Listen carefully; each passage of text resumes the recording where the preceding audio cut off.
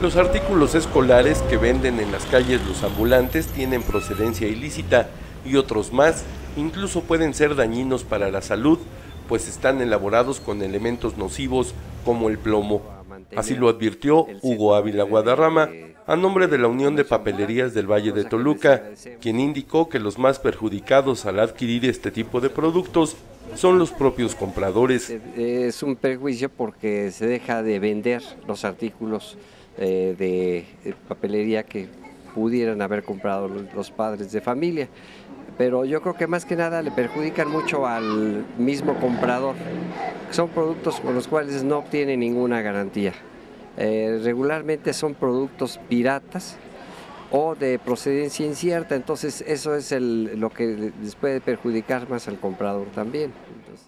Ávila Guadarrama señaló que los padres de familia deben evitar este tipo de riesgos mediante la compra planeada y anticipada de los útiles escolares, siempre en el comercio establecido, donde además pueden encontrar promociones y ofertas que les permiten ahorrar. Pues nada más agradecer a nuestras autoridades y también ojalá y puedan erradicarlo en todas partes por el beneficio del, también del público consumidor, que son los que eh, a fin de cuentas salen más perjudicados porque compran el producto y después tienen que comprar uno de, de calidad.